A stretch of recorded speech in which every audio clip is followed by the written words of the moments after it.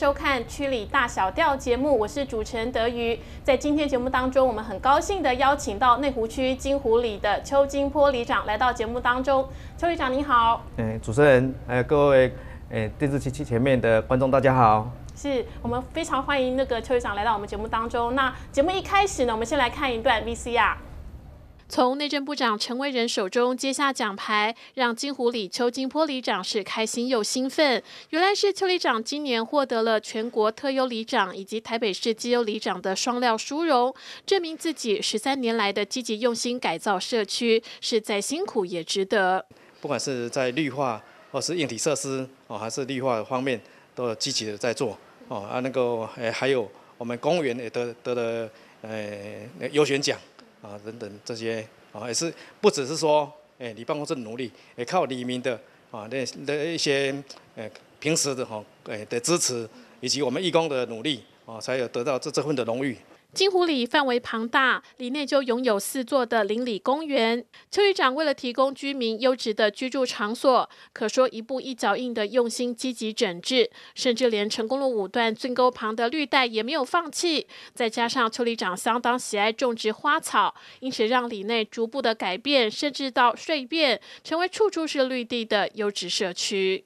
管起来是蛮蛮费心的啦，也是靠靠我们里民，而且靠我们的自工。哦，平时我们也有也有那个，就是管理自呃公园的职工，像我们这些组呃组组织的那个无烟公园，啊，像也有的在公园的话会诶抽烟的话，我们会去劝导他啊，所以不要抽抽烟，啊，他们随时都会去诶去走走，啊，去诶看到有垃圾的话，啊，自工会他们也会捡一捡，或者烟蒂啦，啊，还是里面抽烟的话，我会劝导。啊，这个靠都大部分都是靠一些自工人们的努力。如今邱里长获得了双料殊荣，里长谦虚的表示，其实是职工们的帮助才能有目前的好成绩，也希望李明一起加入维护家园的行列，因为美丽的环境还是需要靠大家的维护。看完了 VCR 呢，其实我们知道，这次我们这个邱里长哦，不但获得我们这个台北市的这个绩优里长的这个殊荣哦，同时还获得我们这个全国特优里长双双算是这个双向双向的这个优这个呃再一次再一次再一次双向的殊荣啊，嗯，好，再一次。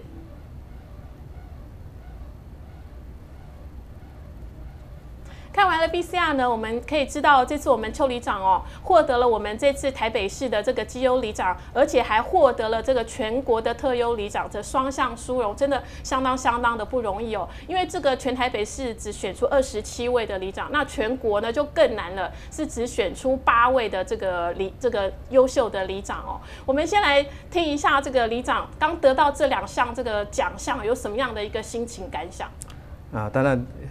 这个奖得的是不容易哦，哎，感到非常的荣幸。是啊，哎，得到这个奖啊，平时也是要靠啊大家的努力啊。啊，办公室平时也有一做做一些这种像巡守队啊，晚上会在巡逻哦啊，也会到马路上啊看一下，哎，每个地方看自然死角啦，或者是马路路灯有没有亮哦啊，哎，那个有没有脏车啦，或者是可疑的车辆等等，及时来回报。啊，还有我们的呃成立的保健职工队啊，每个礼拜三保健日啊啊，在替呃那个李明量血压啊啊，诶在健康咨询等等这些啊替人解决问题啊，还有我们啊里内也也也建设了一些像说呃呃里面的建设，比如马路啦、坑洞啊啊水排排水沟的那个阻塞或没有阻塞，或者是巡视啊路灯，还有等等，还有那个。像啊马路的更新，哦啊还有，呃公园啊的植栽啊等等这些，我们都会去呃去注意啊。当然诶得奖也不是说诶我虽然我感感到非常的荣幸，可是诶不是一一个里长成得得得到这个奖啊，是因为是诶市市政府啦哦区公所帮了很大的忙，因为他们呃像我们反映的一些事情，他们会帮我们都呃处理得很好。还有我们的志工，他们的领长啊，在巡诶会及时看到缺失都会回报，我马上里长马上来啊处理，把这事情解把它解决，啊做的尽善尽美，哦啊，所以得这个奖还是诶要感谢各位，谢谢。是哇，里长真的很客气哦。其实我每次去拜访邱里长的时候哦，他真的都在我们这个里办公室，就很努力的在替这个李明做服务哦。他如果没有在办公室，我想哦，李明一定可以在这个我们金湖里的。一些这个角落都看到里长是，其实都是无时无刻在为里上做付出，像是做一些这个。呃，郡沟的一个清整啊，甚至是这个公园的一些改造啊。其实我们光说到这个金湖里的公园哦，就有四座。其实有公园，其实是让很多这个里长是很羡慕的地方，因为我们知道台北市哦，就是这个地狭人稠嘛哦。那不要说这个四个公园的，有些这邻里一个公园都没有，就是想要有都没有。但是离邱里长，我们这个金湖里呢，又有四座的公园哦，要处理，或是说想要。光说这个清整的工作，我想就相当不容易，而且这个四座的公园，其实每个公园都有特色哈，有的是小的。啊，有的是很大的，有的是在山坡上的，哦，有的是真的是要管理起来，我觉得真的是要很考验这个里长的这个智慧跟用心哦。那我们先从这个公园的改造的部分来说好了。那里长，您觉得这你十三年来，我想你应该付出对这公园付出，我想是投入最大的一个心力了哦。那您觉得这个公园，您一开始在做改造的时候，你是怎用什么样的心态？你会觉得说，哎，这个公园。这么大，我要怎么来做整整修？那也不是说每个公园都会像像我们这个金湖公园这么的漂亮。我想应该都是您一步一脚印做出来的。可不可以先说一下当初是怎么来先规划、来用心来改造我们这些公园？呃，对，这个公因为里内真的很不容易，有四个公园。对，我是四个公园对你办公室也是一个诶一个负担，因为公园多的话，哎那个事情就多。对，啊，因为公园当初。诶，同诶无到有，而且那个公园哈，每个公园的地形都会不一样。对，啊，植栽啊，我们都会去诶到处去再去访访访视每个地方哦，可以种上了种哪些植栽，哪些花草树木哦，的会比较适合啊这个这个地方的生长哦，来那个所以来慢慢的改造，慢慢的来来种植，还有一些呢像像步道啊哦，当初做的是当初做做做做那个步道。哦，他有时候会做那个瓷那个做透水砖的啊，还有有有的是有时候遇到水水的话，像下雨会凹凸不平啊，对对，根本没办法走路，所以慢慢的来改改方会用什么方法把那个步道改善排水的地方哦，哪些排水不好，排水不好的话会影响那些植栽，会慢慢的改善每个地方都把它改善的，因为改善的话。那个轮在在步道上走的话，会比较好走，而且会对植栽又比较好啊。所以呢，那个步的不是说，诶，每个地方会都都会都会不一样啊。都是因为哪边改善的好，那个植栽会比较好生长这样子。所以可以说是处处用心皆学问哦。其实里长不止把这个各个地不同地形公园改造的相当完善哦，就连我们的这个成功路五段哦，其实大家在那边等公车都知道，以前就是一个臭水沟。对哦，那其实大家其实都一点都不想靠近，可以这样说啦。对对。那这几年来哇，我们看到里长哦，这个四季。都有不同的这个风貌，因为里长其实他真的就是把进去，然后深入到里面哦，去把它做改造。像这个我们到了呃呃，应该是说春天的时候有这个百合花，对，哦，那可能夏天的时候有金针花，哦，那其实四季都在这个里长刚才所说的，可能因时这个地因地，然后呃不同，然后来做改造。当初为什么会想要把这个臭水沟把它变成这个花园？而且当初你们怎么是想要去靠近它这样子？因为当初这。这一条臭那个说刚刚说主持人说说这个臭水沟，因为早期在早期古时候的那那这条沟是属于灌溉沟渠，是。在在那个以前这哎那我们那一代都大部分呢，像东湖这这个地方都是农田，哦啊这条是灌溉沟渠，早期灌溉沟渠，后来因为都市的变迁，哦啊那个又政府的重化，哦啊把那些农田都已经都变成都市丛林了，哦啊就是慢慢的就会菌。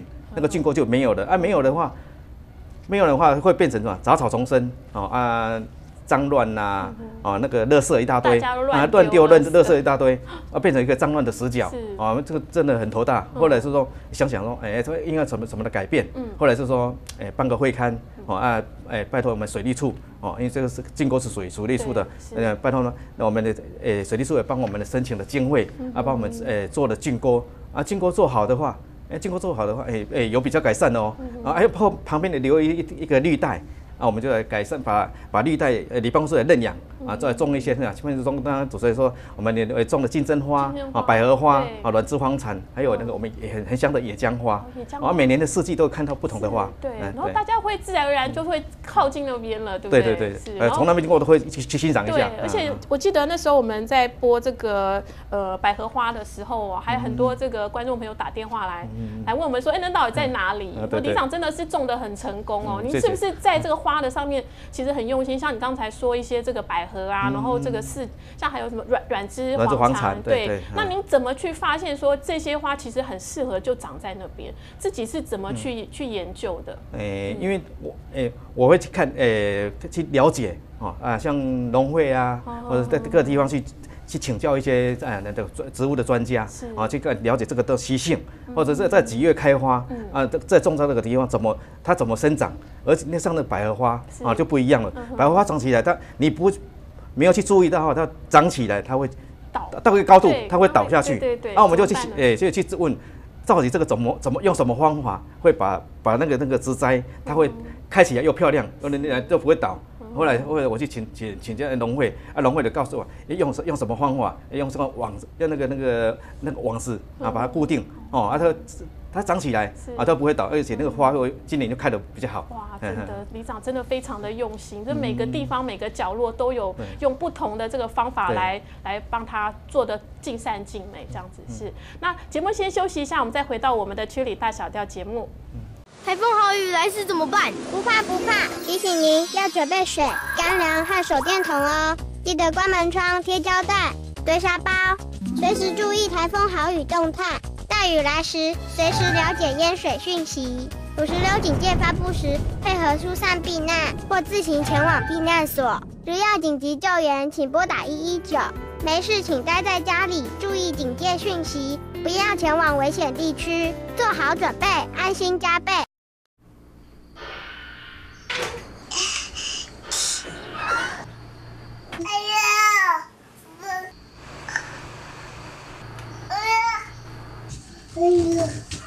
哎呀，哎呀，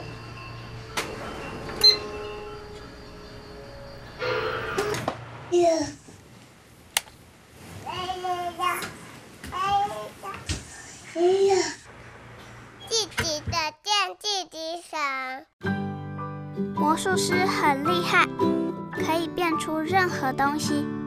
如果能够变出另一个我，每天就有时间做更多事了。不过，我最希望的是，爸爸可以恢复健康，念故事给我听，带我出去玩。魔术师，魔术师，请借给我力量好吗？掏掏口袋零钱，帮帮孩子童年。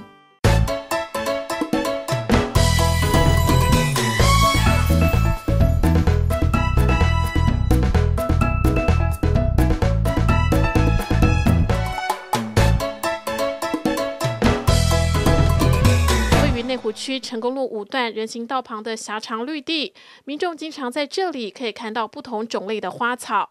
其实这段沿着溪沟延伸出来的沟渠，早期用来灌溉农田，不过随着时间演进，早已老旧不堪使用，也让这里曾经成为金湖里的脏乱死角。早期这个郡沟在呃几十年前，它是一个农业的灌溉沟渠。哦啊，因为时代时代的变迁啊，政府在这块以前是农农田的地方，诶诶，每个地方都是有呃规划的呃住宅区啊，重化之后也没有农田可以使用了啊，这这条沟渠已经变成好像是废郡了，而且废郡的话，诶脏乱哦，诶杂草丛生啊，啊大家很多人都从这边经过，乱丢垃圾啊，变成一个脏乱的地方。在邱里长上任里长之后，经过不断的协调与会勘，终于获得水利处的协助，重新打造了一条防洪沟渠。邱里长也很用心的利用沟渠旁延伸出来的绿带，种植各类的花草树木，让居民一年四季经过这里都有耳目一新的感觉。九十五年左右，啊，李办公室也积极来，呃，申请啊会勘啊，经过几次的会勘之后，啊。呃，离水利处也呃同意说，把我们做了一个呃黄海的黄洪的供呃沟渠啊啊，在一百零一年啊呃做好之后啊，李办公处也有一块绿带，旁边有一个绿带，啊我们李办公处也积极来绿化啊，上面种的啊金针花啊烟花、百合花啊野姜花等等的花，一年四季都有不同的花可以欣赏。担心花草没有水来灌溉，邱里长还很用心地设置了洒水装置，只要接上马达，就可就近利用沟渠的溪水来进行浇花，可说相当的物尽其用。邱里长的用心经营，也成为就地改造为绿带的最佳典范。欢迎回来《区里大小调》节目，在今天节目当中，我们很高兴的邀请到我们内湖区金湖里的邱金波里长来到我们节目当中。他今年也获得了我们台北市的基优里长，还有全国特优里长的双向殊荣哦。那刚才在上面我们提到了这个公园的部分哦，其实呃，在我们金湖里有有一个这个非常非常漂亮的我们这个丽湖公园哦。最近其实这几年来已经成为我们这个内湖区哦一个指标性的公园之一，因为还有人称赞它是我们这个人。人间仙境的地方哦，其实我觉得这一些这个改变哦，我想都不是这个一朝一夕可以可以完成的，都是里长真的是一步一脚印，用心经营，才能变成现在这样一个这么完善的一个公园哦。那其实令湖公园，我想大家去过的人都知道，其实它不大。哦，其实它真的不大，但是为什么可以变成这么漂亮，像这个一一幅画的一个这个公园呢？我想里长真的是很真的很用心。刚才听到里长说用很多这个植栽的部分哦，就是去配合这个。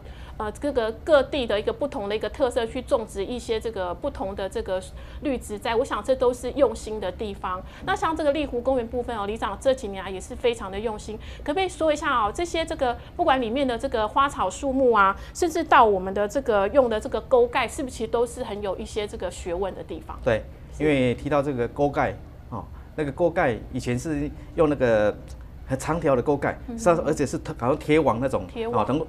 他以前是认为说，诶，下雨的话会诶水渗透比较快，可是呃后来觉得说，但是运动比比较不方便，因为运动人有时候会穿高跟鞋或什么东西，我从那边走的会卡住，会卡住，哦，真的会会很不方便。后来想一想，诶，个气功所反映说，哎，我们来可以用什么方法来做？后来是想到说，用那个透水砖，哦，因为透水砖整个锅盖哈，整个透水砖把它。盖上去，而且现在走的很方便，而且下雨的话又不怕下雨，下雨的话它直接会透进去。哦，啊，这很，呃，一个很方便的地方，是很好的地方。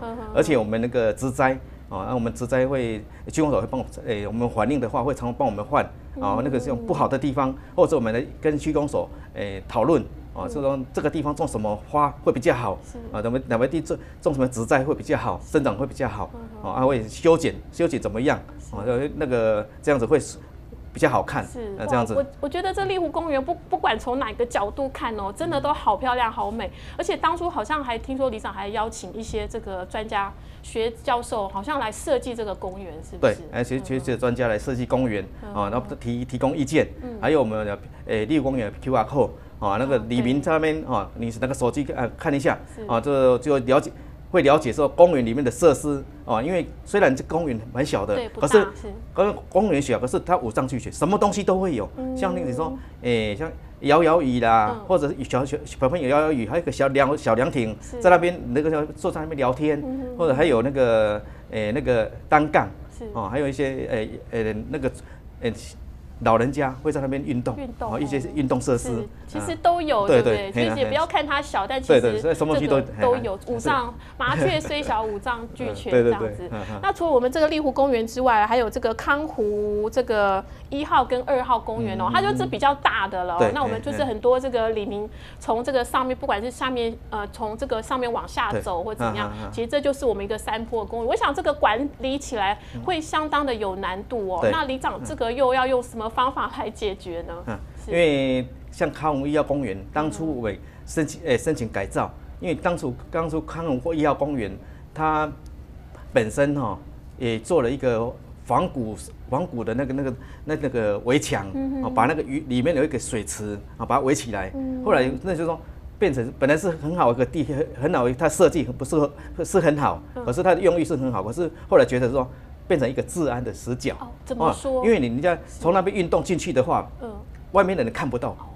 后来是改设，呃，我就建议说改造，把那个，哎，正面的那个那个围墙哦，把它打掉，哦啊呃，该留就留啊，不留不留的地方稍稍微修修饰一下，然后改造。而现在目前改造哦会比较好，会对治安会行人在那边公园散步的，呃，就现目前感觉比较好一点，啊，比较好，而且水以前水池很深，对，哦，啊会把它填填呃填呃填土啊填的是比较浅一点，哦，就因为。也是水深的话也是危险哦。啊，像康湖二号公园，啊，康湖二号公园是诶，因为它的地形的不问题，嗯，诶，它是一个好像山坡，哦，一个山小山坡，对，呃，后来本本来是它小小个山小山坡，只有一些小树啦，哦，草皮啦，看而已，对，后来是申请改造，能够让人家进去，能够进去那边走动。后来是改造是能够做个那个步道，就是交叉的步道上去。啊，因为它山坡嘛，因为交叉才有办法上去。啊，这样子啊，所以李长其实就已经用运用非常多的技巧，像山坡型的，我们就开一个小步道，让大家这样绕着上面走，可以看到沿途的这个花花草草。对，那这一号公园呢，因为水池比较深，就进行了这个填土的一个。一个这个呃推行这个政策，然后让它不要这么深，别怕危险这样子是哇，真的是很用心。每个公园哦，里长都有一个想一个这个想法去套上去做非常完善的一个。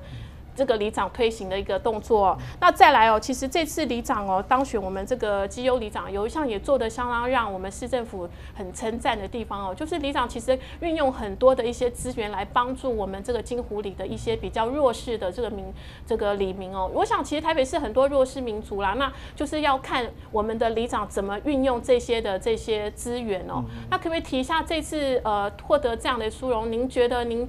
呃，用什么样的一个力量，然后来帮助这个里内的一些这个弱势的里民呢？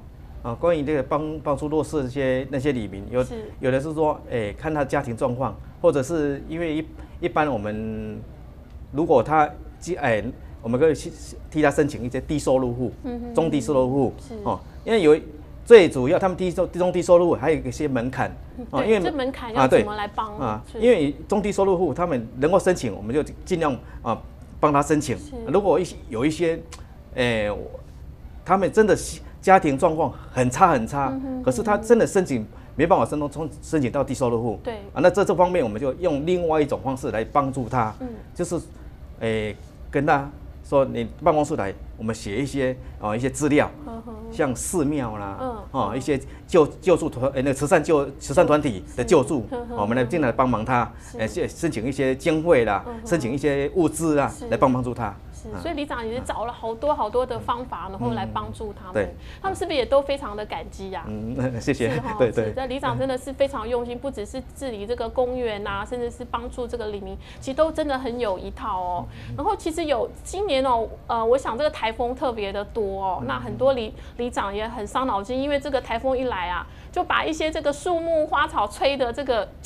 这个面目全非哦，那我想这个金湖里也不要也别不多说，因为其实金湖里既然公园这么多，树木一定也很多。对。那这次里长，您我想你也挺过来了，有什么样的一些方法哦，然后来让这些呃其他的里长，然后可以受惠，下次碰到台风来，可以先做好这个防微杜渐这样子。是。哎，这次这次台风虽然哎受损，可是受损不是很厉害啊，因为平时我们会在公园里面的话，我们都会。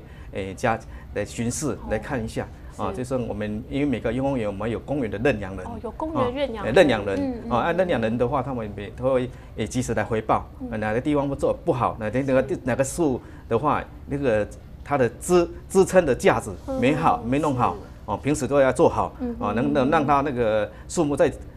除非是台风很大的台风了，对，那个自助也没办法了。对，就第一次那个苏迪勒还蛮大的哦。哎，有有的只要轻微的话，他们都不会倒。啊，我们都平时都会注意。是，所以其实平时就先做好了这个预防的策略就对了，就是先搭好这个支架。支架。对，那不会说到了台风完之后，然后才去发现说啊，这个倒了，那个那个可能被被吹倒了这样。不是支架，不是支架，而且是这样那个每个地方的那个那个花的花扇边啊，花那路旁的那个些排水。排水设施啊，会得注意，会有有没有泥土的阻塞了，树叶的阻塞啊，会造成那些那些崩塌那些。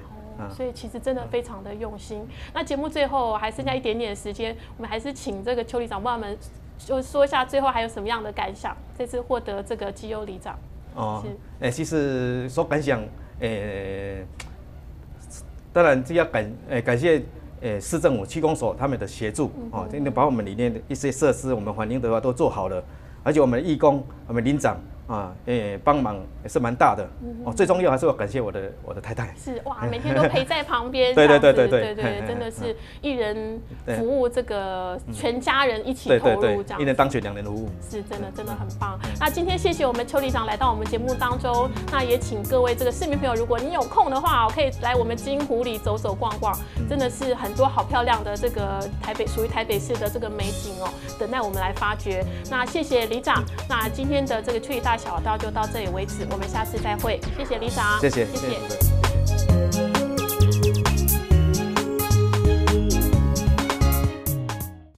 台风豪雨来时怎么办？不怕不怕，提醒您要准备水、干粮和手电筒哦。记得关门窗、贴胶带、堆沙包，随时注意台风豪雨动态。大雨来时，随时了解淹水讯息。五十六警戒发布时，配合疏散避难或自行前往避难所。如要紧急救援，请拨打一一九。没事，请待在家里，注意警戒讯息，不要前往危险地区，做好准备，安心加倍。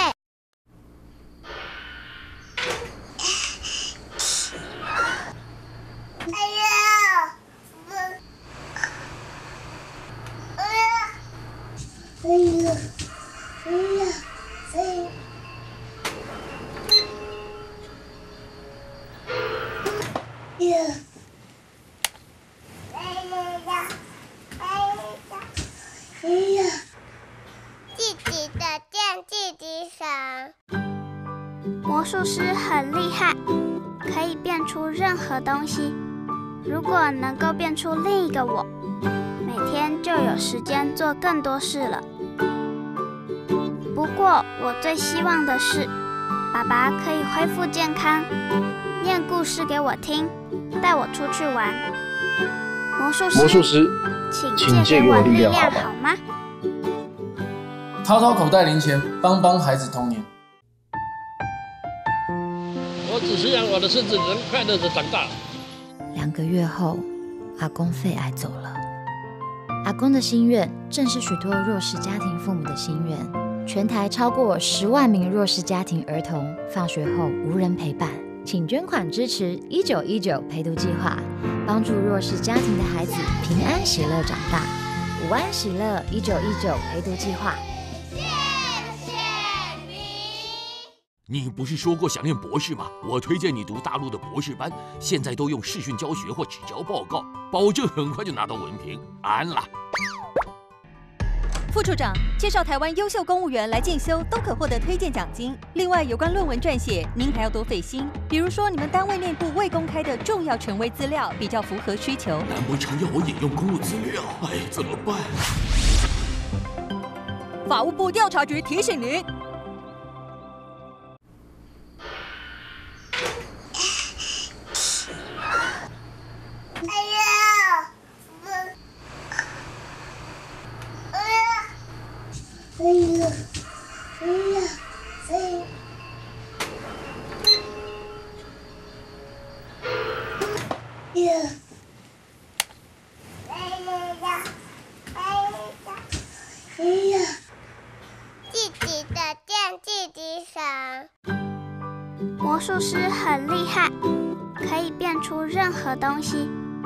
果能够变出另一个我，每天就有时间做更多事了。